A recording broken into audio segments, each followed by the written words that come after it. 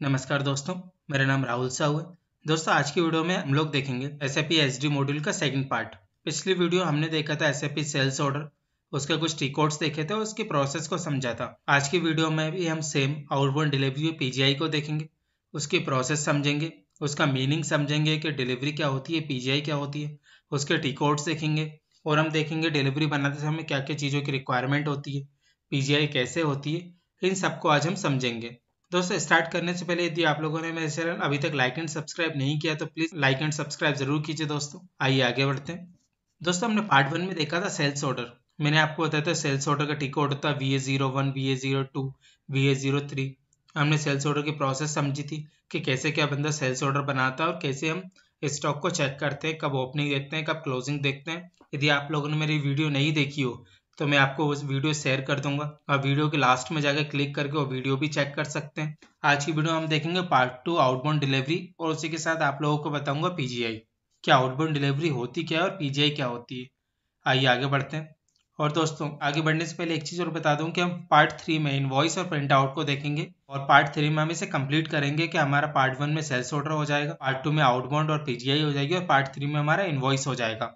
आइए नेक्स्ट चलते हैं। दोस्तों आउटबाउंड डिलीवरी क्या होता है? What is outbound delivery the outbound delivery is a documents representing the goods to be delivered together to a goods recipient दोस्तों, ये हमसे कह रहा है, जब भी हम आउटबाउंड डिलीवरी सेप से जनरेट करते हैं तो उसका मतलब होता है गुड्स को प्रेजेंट करता है। तो आउटबाउंड डिलीवरी का एक्चुअल मीन होता है कि जब भी हम आउटबाउंड डिलीवरी एस से प्रिंट आउट करते हैं तो वो हमारे गुड्स को प्रेजेंट करता है गुड्स को शो करता है कि हमें क्या क्या गुड्स कस्टमर को देना है और कितनी गुड्स चाहिए, कितनी टोटल क्वांटिटी क्या क्या इन्फॉर्मेशन है। वो हम आगे देखेंगे कि आउटबाउंड डिलीवरी में क्या क्या इन्फॉर्मेशन इंक्लूड होती है।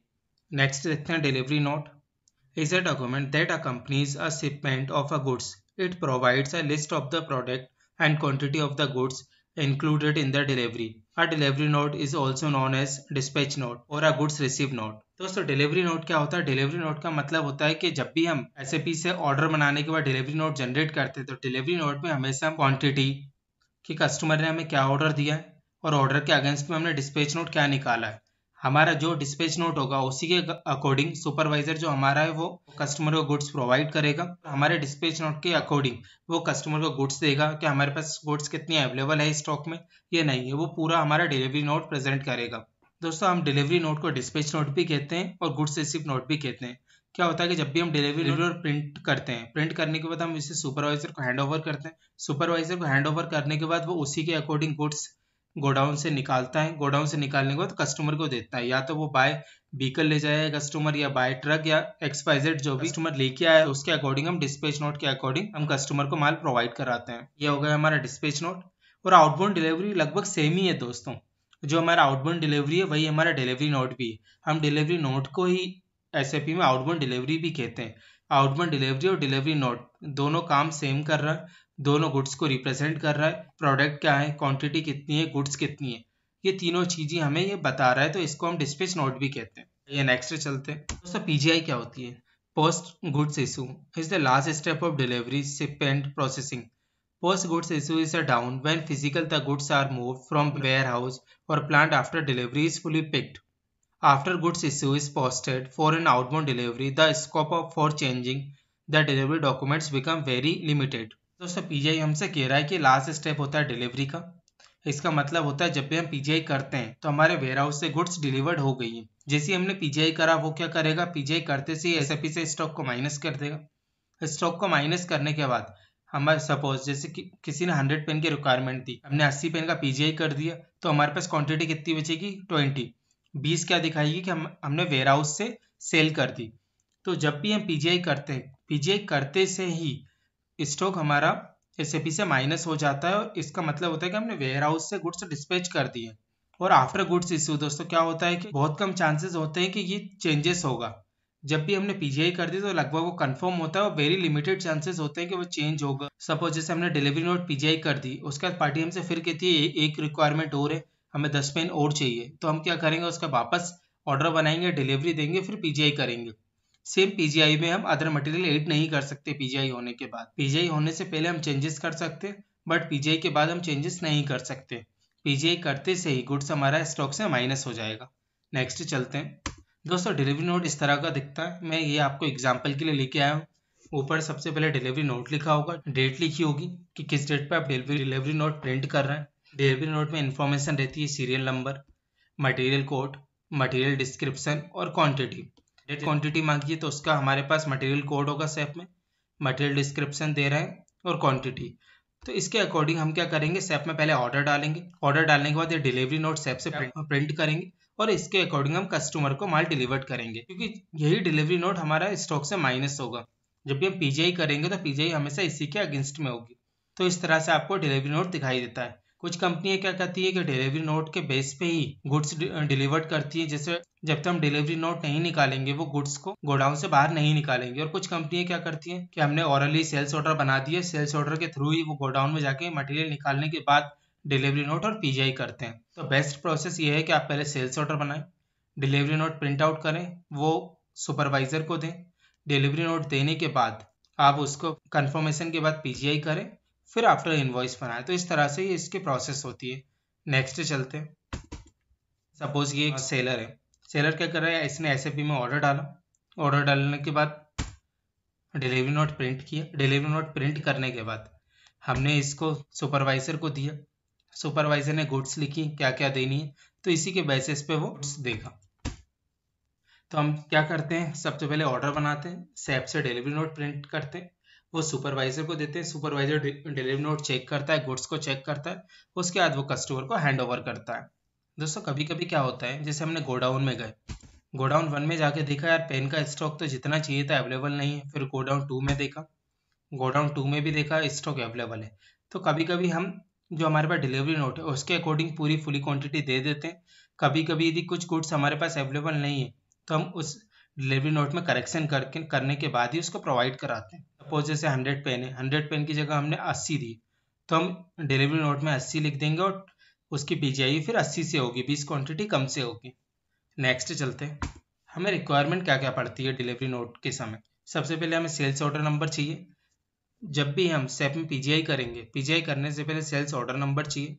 Goods confirmation against delivery note जब भी हमारा सुपरवाइजर या कोई भी बंदा गुड्स को दे के आएगा कस्टमर को, या फिर गुड्स गोडाउन से निकालेगा, उसका वो हमें कंफर्मेशन देगा कि इतनी गुड्स उसने दे दिए। उसी के अकॉर्डिंग हम पहले पीजीआई करेंगे। सेकंड हम स्टॉक क्वालिटी में चेक करेंगे पीजीआई करने से पहले कि स्टॉक हमारे पास अवेलेबल है सेप में या क्वालिटी में तो नहीं है। क्वालिटी में दी है तो उसे क्लियर कराएँगे, उसके बाद उसका पीजीआई करेंगे। फोर्थ हम सेप में चेक करेंगे कि स्टॉक सेप में आ गया है क्वालिटी में है या नहीं है, या उसका स्टॉक है क्या नहीं है। इन सब चीज़ों की हमें रिक्वायरमेंट होती है पीजीआई के समय। सेल्स ऑर्डर नंबर स्टॉक हमारा एसएपी में है या क्वालिटी में है, ये चेक करना। उसी के बाद हम पीजीआई कर सकते हैं। नेक्स्ट चलते हैं। इसके हम टी कोड देख लेते हैं। टी कोड क्या होता है? दोस्तों, मैंने प्रीवियस वीडियो में बताया था आपको V S zero one sales order V S zero two edit V S zero three display V S zero five order summary ये मेरी प्रीवियस वीडियो सेल्स ऑर्डर के बारे में आप लोगों को बताया था कि उसके टी कोड्स होते हैं। आज की वीडियो हमने देखे हैं आउटबाउंड डिलीवरी का टी कोड होता है वी एल ज़ीरो वन जब भी हमें डिलीवरी बनानी है तो सबसे पहले टी कोड चलाएँगे वी एल ज़ीरो वन उसके बाद जब भी डिलीवरी कंप्लीट हो गई है और हमें कंफर्मेशन आ गई है डिलीवरी के तो उसका टी कोड चलाएँगे V L zero two N उसके पीजीआई करेंगे और V L zero three N से हम डिस्प्ले देख सकते हैं। तो ये तीन टी कोड होते हैं डिलीवरी के वी एल ज़ीरो वन से डिलीवरी क्रिएट होती है टू से पीजीआई होती है और थ्री से डिस्प्ले देखते हैं। और इनवॉइस का पार्ट हम नेक्स्ट वीडियो में देखेंगे। नेक्स्ट चलते हैं। दोस्तों एस में जब भी आप टी कोड यूज़ करेंगे V L zero one N तो यहाँ पे आप टाइप करेंगे V L zero one N उसके बाद आपको इस तरह से स्क्रीन दिखाई देगी।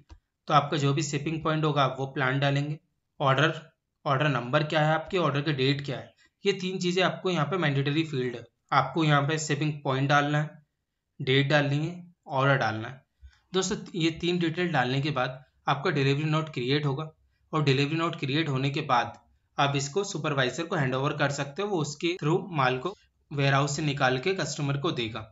डिलीवरी नोट बनने के बाद हम क्या करेंगे? जैसे डिलीवरी नोट हमारा जनरेट होगा, उसके बाद हमारा एक नंबर जनरेट होता है। नंबर को हम V L zero two N में यूज़ करते हैं।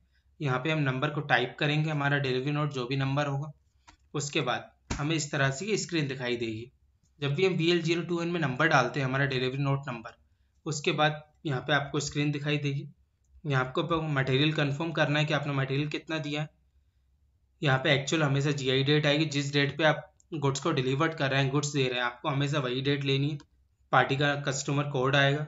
यहाँ पार्टी का नाम आएगा। यहाँ डेट आएगी, और ये सब इन्फॉर्मेशन फ़ीड होने की वजह से आपके पास स्टॉक अवेलेबल होगा। उसके बाद आपको यहाँ पे पीजीआई करनी है। जैसे आप पीजीआई करेंगे तो ये आपकी पीजीआई कंप्लीट हो जाएगी और डिलीवरी बन जाएगी।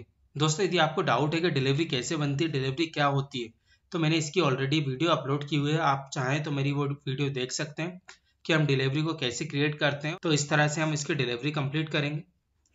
तो दोस्तों, आज की वीडियो में हमने क्या देखा? तो दोस्तों, आज की वीडियो में हमने देखा कि हम आउटबाउंड डिलीवरी को कैसे बनाते हैं, उसका टी कोड क्या होता है? उसके बाद टी कोड के बाद पीजीआई कैसे करते हैं? पीजीआई का एक्चुअल मीन क्या होता है?